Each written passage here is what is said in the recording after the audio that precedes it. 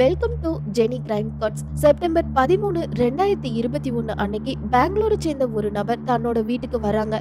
இந்த டைம்ல அந்த வீடு உள்பக்கமா லாக் பண்ணப்பட்டிருக்கு. கொஞ்ச நேரம் கதவை தட்டி பாக்குறாங்க. ஆனா யாரும் கதவை ஓபன் பண்ணல. இதனால பதறி போய் த வீட்டு ஜன்னல் வழியா எட்டி பார்த்த அந்த நபர் பயங்கர ஷாக் ஆகுறாங்க. ஒன்பது மாச குழந்தை உட்பட அந்த வீட்டுல அஞ்சு சடலங்கள் அழுகிய நிலையில மீட்கப்படுது. ஒரே குடும்பத்தை சேர்ந்த அஞ்சு பேர் இப்படி சடலமா மீட்கப்பட என்ன காரணம்னு டீட்டெயிலா பார்க்கலாம் வாங்க இந்த மாதிரி கிரைம் கேசஸ் பத்தி தெரிஞ்சுக்க ஆசைப்படுற ஒவ்வொருத்தவங்களும் உங்களோட கனிவான ஆதரவை தெரியப்படுத்த நம்ம சேனலை சப்ஸ்கிரைப் பண்ணி லைக் பண்ணுங்க.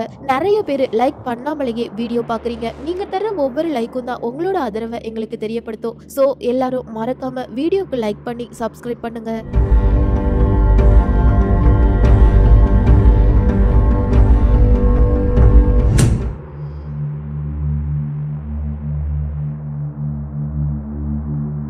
வீட்டுக்கு வந்து கதவை தட்டிட்டு இருந்த அந்த நபரோட பேரு சங்கர். இவர் கர்நாடகா பத்திரிகையில நியூஸ் எடிட்டரா ஒர்க் பண்றாங்க. இவரோட மனைவி பாரதி வயசு ஐம்பத்தி ஒண்ணு. இந்த தம்பதிக்கு சிஞ்சனா சிந்துராணின்னு ரெண்டு பொண்ணுங்களும் மதுசாகர்னு ஒரு பையனும் இருக்காங்க. எம்பிஏ பட்டதாரியான சிஞ்சனாவுக்கு முப்பத்தி நாலு வயசாகுது. இன்ஜினியரிங் படிச்சு முடிச்ச சிந்துராணிக்கு முப்பத்தி ஒரு வயசு மதுசாகருக்கு இருபத்தி அஞ்சு வயசாகுது. ஒரே குடும்பத்தை சேர்ந்த இவங்க எல்லாரும் ரொம்பவே சந்தோஷமா வாழ்ந்துட்டு இருந்த இந்த டைம்ல செப்டம்பர் பன்னிரெண்டாம் தேதி சங்கர் வீட்ல இருந்து வெளியில கிளம்புறாங்க. இப்படி வெளியில போன சங்கர் சில நாட்களுக்கு அப்புறம் திரும்பவும் தன்னோட வீட்டுக்கே வந்திருக்காங்க. இந்த டைம்ல சங்கரோட வீடு உள்பக்கமா லாக் பண்ணப்பட்டிருக்கு. ரொம்ப நேரம் கதவை தட்டிட்டே இருந்த சங்கர் கதவை யாரும் திறக்காததுனால இப்போ அந்த வீட்டு ஜன்னல் வழியா எட்டி பாக்குறாங்க இப்படி ஜன்னல் வழியா எட்டி பார்த்த சங்கர் கிரவுண்ட் ஃப்ளோர்ல தன்னோட ஒய்ஃப் பாரதி தூக்கு மாட்டி இறந்த நிலையில இருக்கிறத பார்த்து கதற ஆரம்பிக்கிறாங்க. எப்படியாவது வீட்டுக்குள்ள போயிடணும்னு நினைச்சு வீட்டு கதவை பலமா உதைக்கிறாங்க. ஆனா கதவு ஓபன் ஆகல. இதனால பதறி போன சங்கர் என்ன பண்றதுன்னு தெரியாம அக்கம் பக்கத்துல உள்ளவங்களை கூப்பிட ஆரம்பிக்கிறாங்க. சங்கரோட அலறல் சத்தத்தை கேட்டு அந்த பகுதி மக்கள் எல்லாரும் என்னாச்சு? ஏன் இப்படி அழுறீங்கன்னு கேட்கும் போது சங்கரோட கண்கள் அந்த ஜன்னலையே பார்த்தபடி இருந்திருக்கு. இதனால அங்கிருந்த எல்லாரும் அந்த ஜன்னலை எட்டி பார்த்து நடுங்க ஆரம்பிக்கிறாங்க. இந்த டைம்ல அந்த பகுதிக்கு வந்த போலீஸும் பொதுமக்களும் சேர்ந்து அந்த வீட்டு கதவை உடைச்சிட்டு உள்ள போறாங்க. அந்த வீட்டுக்குள்ள போனதுமே வீடு ஃபுல்லா துர்நாற்றம் அடிச்சிருக்கு. இப்போ போலீஸ் சங்கர் கிட்ட உங்க வீட்டுல எத்தனை பேர் இருந்தாங்கன்னு கேக்குறாங்க. போலீஸ் கேட்ட இந்த கேள்விக்கு சங்கர் என்ன பதில் சொல்றாங்கன்னா நான் வீட்டுல இருந்து வெளியில போகும்போது இந்த வீட்டுல ரெண்டு குழந்தைங்க உட்பட ஆறு பேர் இருந்தாங்கன்னு சொன்னதை கேட்டதும் போலீஸ் பயங்கர ஷாக் ஆகுறாங்க. அப்படின்னா மீதி இருக்கிறவங்களுக்கு என்னாச்சுன்னு பதற ஆரம்பிக்கிறாங்க.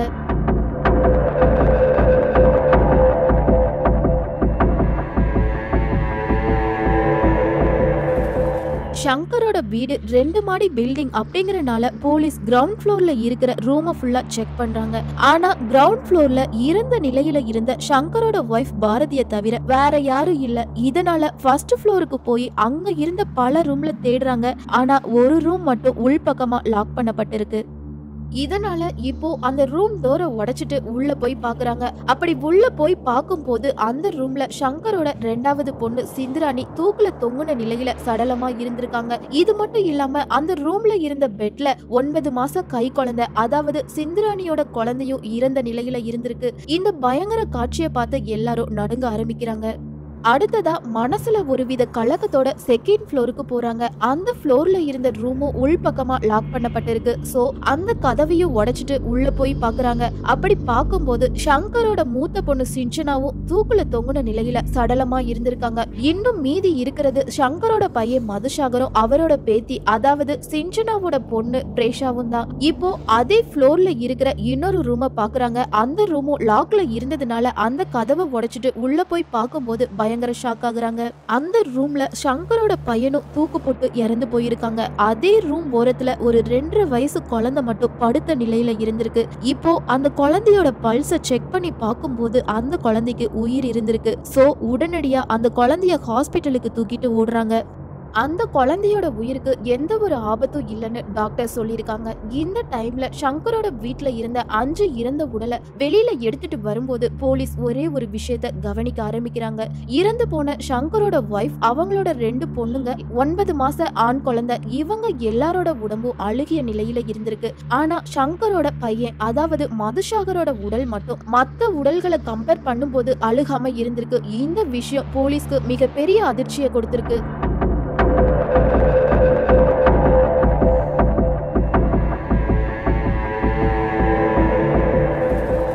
இந்த டைம்ல போலீஸ் என்ன திங்க் பண்றாங்கன்னா ஒருவேளை மதுசாகர் தான் எல்லாரையும் கொலை பண்ணிட்டு கடைசியா தற்கொலை பண்ணிருப்பாங்களா? இல்லனா போலீஸ் கம்ப்ளைண்ட் கொடுத்த சங்கர் தான் தன்னோட ஃபேமிலிய ஏதாவது பண்ணிட்டாங்களா? அதுவும் இல்லனா வேற ஏதாவது காரணமான பல ஆங்கிள் திங்க் பண்றாங்க. போலீஸ் எப்படி திங்க் பண்ணினாலும் இந்த அஞ்சு பேரோட மரணத்துக்கும் என்ன காரணமா இருக்கும்னு தெரியல. இந்த அஞ்சு பேரோட அட்டாப்சி ரிப்போர்ட்ல தான் இது கொலையா அல்லது தற்கொலையா அப்படிங்கிற எல்லா உண்மையும் தெரிய வரும்னு நினைச்சு அந்த அட்டாப்சி ரிப்போர்ட் ரிப்போர்ட்டுக்காக வெயிட் பண்றாங்க. அந்த அட்டாப்சி ரிப்போர்ட்ல எல்லாருக்கும் ஷாக் கொடுக்கிற மாதிரி சில அதிர்ச்சியான விஷயங்களை சொல்லியிருக்காங்க. அந்த விஷயங்கள் என்னன்னு பாக்குறதுக்கு முன்னாடி சங்கர் வீட்டுல இருந்து வெளியில போறதுக்கு முன்னாடி அந்த வீட்டுல என்ன நடந்ததுன்னு டீட்டெயிலா பார்க்கலாம்.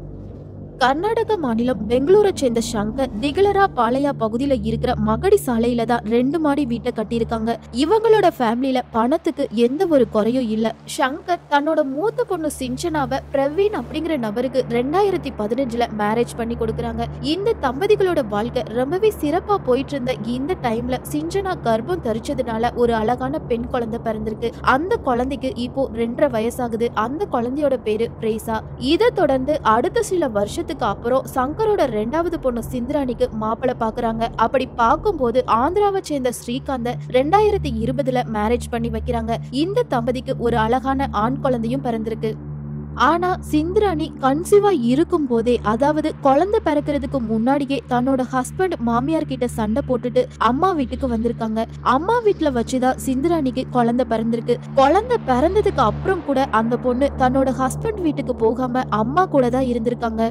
சங்கரோட ரெண்டாவது பொண்ணு தான் ஹஸ்பண்ட் கூட வாழாம தாய் வீட்லயே இருக்காங்கன்னு நினைச்சா சங்கரோட ஃபர்ஸ்ட் பொண்ணு சிஞ்சனாவும் புகுந்த வீட்டுல உள்ளவங்களோட சண்டை போட்டுட்டு ஒன்றரை வருஷமா தன்னோட அம்மா கூட தான் இருந்திருக்காங்க. தன்னோட ரெண்டு பொண்ணுங்களும் மேரேஜ் ஆன சில வருஷத்திலேயே வாழா வெட்டியா தான் வீட்டுல வந்து இருக்கிறாங்களேன்னு நினைச்சு சங்கர் அதிக ஸ்ட்ரெஸ்ல இருந்திருக்காங்க. சில மாசத்துக்கு அப்புறம் சங்கரோட பையனுக்கு திருமண வயசு வந்ததுனால பொண்ணு பார்க்க ஆரம்பிக்கிறாங்க. ஆனா பொண்ணு வீட்டுல உள்ளவங்க எல்லாரும் என்ன சொல்றாங்கன்னா உங்க வீட்டுல இருக்கிற ரெண்டு பொண்ணுங்களும் ஹஸ்பண்ட் கூட சண்டை போட்டுட்டு உங்களோட தான் இருக்கிறாங்க. அப்படி இருக்கும்போது எங்க வீட்டு பொண்ணை உங்க பையனுக்கு எப்படி மேரேஜ் பண்ணி வைக்க முடியும்? நாத்தனார் சண்டையால எங்க மகளோட லைஃப் வேஸ்ட் ஆகிரும்னு பல காரணத்தை சொல்லி இந்த திருமணத்துக்கு மறுப்பு தெரிவிக்கிறாங்க. இதனால சங்கர் மறுபடியும் ஸ்ட்ரெஸ் ஆக ஆரம்பிக்கிறாங்க. இந்த ஸ்ட்ரெஸ் நாளாக நாளாக சங்கரோட மனசுல கோவத்தை ஏற்படுத்துது.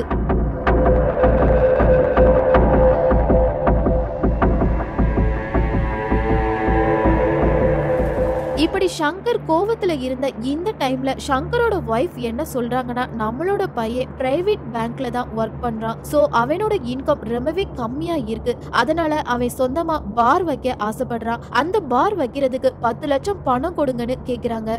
இந்த டைம்ல மதுசாகரும் சில டாக்குமெண்ட்ஸை எடுத்துட்டு தன்னோட அப்பா கிட்ட சைன் போட சொல்லி கேக்குறாங்க.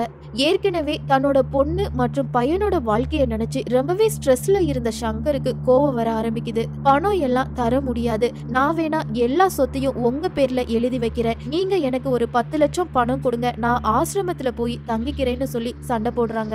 இப்படியே வீட்டுல இருக்கிற எல்லார்கிட்டையும் வாக்குவாதம் பண்ணிட்டு இருந்த இந்த டைம்ல சங்கர் தன்னோட ரெண்டு பொண்ணுங்களையும் திட்ட ஆரம்பிக்கிறாங்க. நீங்க ரெண்டு பேரும் உங்களோட ஹஸ்பண்ட் வீட்டுக்கு போக வேண்டியது தானே? எத்தனை நாள் இந்த வீட்லயே இருப்பீங்க? சீக்கிரம் மாமியார் வீட்டுக்கு போற வழிய பாருங்கன்னு சொல்லி திட்டுறாங்க. இதனால அந்த ஃபேமிலியில இருக்கிற எல்லாருக்குமே வாக்குவாதம் அதிகமாகிருக்கு ஒரு ஒருத்தரை ஒருத்தர் மாத்தி மாத்தி திட்ட ஆரம்பிக்கிறாங்க. இந்த டைம்ல சங்கர் இனிமே இந்த வீட்டுல என்னால இருக்க முடியாதுன்னு சொல்லிட்டு வீட்டுல இருக்கிற எல்லார்கிட்டயும் சண்டை போட்டுட்டு செப்டம்பர் பனிரெண்டாம் தேதி அந்த வீட்டை விட்டு வெளியில கிளம்புறாங்க. இப்படி சங்கர் வெளியில கிளம்பும் போது அவரோட பையன் மதுசாகர் தன்னோட அப்பாவுக்கு மெசேஜ் பண்ணி வீட்டுக்கு கூப்பிட்டுருக்காங்க. ஆனா கோவத்துல இருந்த சங்கர் மெசேஜுக்கு எந்த ஒரு ரிப்ளையும் பண்ணாம அங்க இருந்து கிளம்பிட்டாங்க. இப்படியே மூணு நாட்கள் கடந்து போனதுக்கு அப்புறம் சங்கர் தன்னோட ஒய்ஃபுக்கும் பையனுக்கும் கால் பண்றாங்க. ஆனா யாருமே கால் அட்டன் பண்ணல. இதனால டவுட் ஆன சங்கர் கோவம் எல்லாம் போனதுக்கு அப்புறம் செப்டம்பர் பதினாறாம் தேதி தன்னோட வீட்டுக்கு வந்திருக்காங்க. ஆனா வீடு உள் பக்கமா லாக்ல இருந்ததுனால அங்க இருந்து கிளம்பி வேலைக்கு போயிருக்காங்க. இதுக்கப்புறம் செப்டம்பர் பதினேழாம் தேதி சாயங்காலம் அஞ்சு நாற்பத்தி அஞ்சுக்கு மறுபடியும் வீட்டுக்கு வந்திருக்காங்க. இந்த டைம்ல வீடு லாக்ல இருந்தது மட்டும் இல்லாம அந்த வீட்டுல இருந்து துர்நாற்றம் வந்திருக்கு. இதனால சங்கர் கிரவுண்ட் ஃப்ளோர்ல இருக்கிற ஜன்னல் வழியா எட்டி பார்க்கும் போதுதான் தன்னோட ஃபேமிலி மெம்பர்ஸ் எல்லாரும் இறந்து போன விஷயம் தெரிய வந்திருக்கு. இப்போ சங்கர் ஃபேமிலி மெம்பர்ஸோட அட்டாப்சி ரிப்போர்ட்ல என்ன சொல்லியிருக்காங்கன்னா சங்கரோட ஒய்ஃப் பாரதி அவங்களோட மூத்த பொண்ணு சிஞ்சனா ரெண்டாவது பொண்ணு சிந்துராணி பையன் மதுசாகர் இவங்க எல்லாருமே தூக்கு போட்டு தான் இறந்து போயிருக்காங்க. அதாவது மூச்சு திணறி தான் இறந்து போயிருக்காங்க. இப்போ சிந்துராணியோட ரூம்ல இருந்த அவங்களோட ஒன்பது மாச கை குழந்தை பசியால இறந்து போயிருக்க வாய்ப்பு இருக்குன்னு சொன்னாங்க. ஆனா தீவிர பரிசோதனைக்கு அப்புறம் அந்த ஒன்பது மாச குழந்தைய சிந்துராணி தான் துணியால கழுத்தை இறுக்கி கொலை பண்ணிட்டு தானும் தற்கொலை பண்ணியிருக்காங்கன்னு சொல்லியிருக்காங்க. இவங்க எல்லாருமே செப்டம்பர் பதிமூணாம் தேதியே தற்கொலை பண்ணி இறந்து போயிட்டாங்க. மதுசாகர் மட்டும் ரெண்டு நாட்களுக்கு அப்புறம் அதாவது செப்டம்பர் பதினஞ்சு இல்லனா பதினாறாம் தேதி தான் தற்கொலை பண்ணிருக்காங்க அதனாலதான் மதுசாகரோட இறந்த உடல் மட்டும் அழுகாம இருந்திருக்கு. இந்த கேஸோட ஃபைனல்ல போலீஸோட திங்கிங் எப்படி இருக்குன்னா சங்கர் எல்லார்கிட்டயும் சண்டை போட்டுட்டு வீட்டை விட்டு வெளியில போனதுக்கு அப்புறம் மதுசாகர் கண்டிப்பா வீட்டுல இருக்கிற எல்லாரையும் ஹார்ஷா திட்டிருப்பாங்க. ஆல்ரெடி சங்கர் திட்டினதை நினைச்சு கஷ்டப்பட்டுட்டு இருந்த எல்லாரும் மதுசாகர் திட்டினதும் வாழ்க்கையே வெறுத்து போய் தற்கொலை பண்ணிருப்பாங்க. எல்லாரும் இப்படி ரூமை லாக் பண்ணிட்டு வெளியில வராம இருந்தது மட்டும் இல்லாம கிரவுண்ட் ஃப்ளோர்ல தன்னோட அம்மா தூக்குல தொங்குன நிலையில இறந்து கிடந்தத மதுசாகர் பார்த்திருக்காங்க. இதனால வாழ்க்கைய வெறுத்து போன மதுசாகர் தன்னோட அக்கா பொண்ணு ரூம்ல இருக்கும் போதே தற்கொலை பண்ணி இறந்து போயிருக்காங்கன்னு சொல்லப்படுது.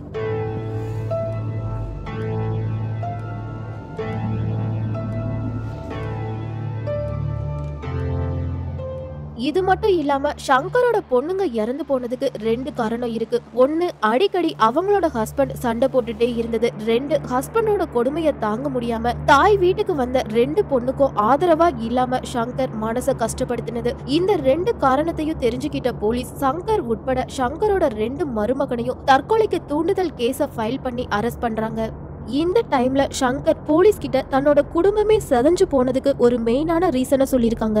சங்கரோட ரெண்டு பொண்ணுங்களும் அவங்களோட ஹஸ்பண்ட் கிட்ட சின்ன சின்ன விஷயத்துக்கு கூட சண்டை போட்டுட்டே இருந்திருக்காங்க. இப்படி சண்டை போட்டுட்டே இருந்த ரெண்டு பொண்ணுங்களும் சப்போர்ட்டுக்கு தாய் வீடு இருக்குன்னு சொல்லி வீட்டுக்கு வந்திருக்காங்க. ஆனா தாய் ஸ்தானத்துல இருந்த பாரதி அவங்களோட பொண்ணுங்களுக்கு நல்ல விஷயத்த சொல்லி கொடுக்காம அடிக்கடி சண்டை வந்துட்டே இருந்தா நீ உடனே கிளம்பி வீட்டுக்கு வந்துரு. அம்மா உனக்கு சப்போர்ட்டா இருப்பேன்னு சொல்லி தன்னோட ரெண்டு பொண்ணுங்களோட வாழ்க்கையையே கேள்விக்குறியாக்கி இருக்காங்க சின்ன சின்ன சண்டைகளை பெருசுபடுத்தாம எப்படி வாழணும்னு கூட பாரதி தன்னோட ரெண்டு பொண்ணுங்களுக்கும் சொல்லி கொடுக்கல. இந்த சம்பவம் நடந்த இருபது நாளைக்கு முன்னாடி கூட தன்னோட ரெண்டாவது பொண்ணு அவளோட ஹஸ்பண்ட் கிட்ட சண்டை போட்டுட்டு தூக்க மாத்திரை சாப்பிட்டதா சொல்லியிருக்காங்க. ஒரு தாயா இருந்து குடும்பத்தை நல்வழிப்படுத்த வேண்டிய தன்னோட மனைவி அதை சரியா செய்யாததுனால தன்னோட குடும்பமே செதஞ்சு போயிருக்குன்னு எல்லா குற்றச்சாட்டையும் பாரதி மேல வச்சிருக்காங்க.